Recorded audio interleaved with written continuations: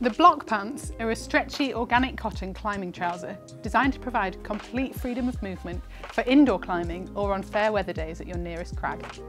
The fabric we've used for the Bloc pants is an organic cotton twill containing 2% spandex.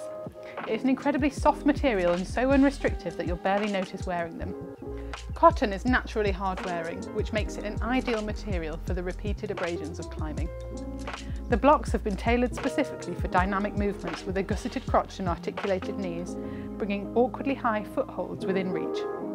And because of the incredible fabric stretch, we were able to make them slightly more fitted than many climbing trousers, so you can still see your feet on tricky foot placements. A wide but low profile elastic waistband provides a secure fit but still sits neatly and comfortably under a harness for pitched climbing. And we've also added four handy jeans style pockets which are the perfect size for snacks.